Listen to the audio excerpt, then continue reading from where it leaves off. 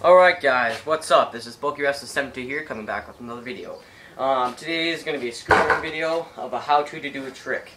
Um, I know most of my fans are probably not going to watch this, so this is probably not going to get many views, but if this does, this is just out there for people that do come by and learn and want to learn how to do tricks. So, um, today I'm going to teach you guys how to do two tricks. They're, they're, they're the basics and it's the tail whip and the bar spin. So we're going to start off with the bar spin. So what you want to do is go up in the, this a little ramp. You don't you don't have to get too much air for this trick. You can pretty much you can do it flat. But anyways, in this case, what you want to do is you got you got to get a got to get some air off the ground. Just do a slight bunny hop. I'll just do one over here. That should be enough. That should be enough air. But, um,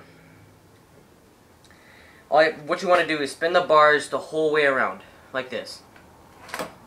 But what you want to do, when you get the bars to about right here, you want to take your left hand, or whatever hand, it, yeah, like whatever hand is free, and grab the other um, handlebar, then bring it back.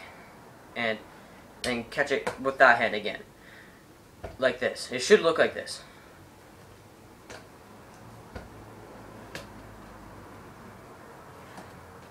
Then you should be set. I know there's two types of bars, like a throw bar, but the best way to do it is the catch bar. So, I'll, I'll demonstrate one right now. I'm not sure if you guys can see it, but there. So now I'm going to teach you how to do tail whip. So what you want to do is get a decent amount of air, just like this. Then, what you want to do is flick your wrists around in a circular motion, like this. Just keep on practicing that.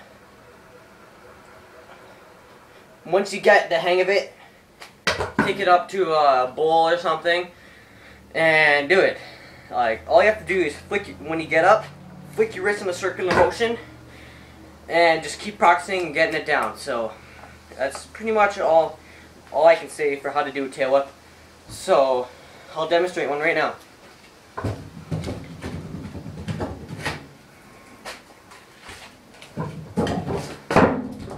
So yeah. Those are the tutorial how to do bar spin and a tail whip. So peace out guys. See you later.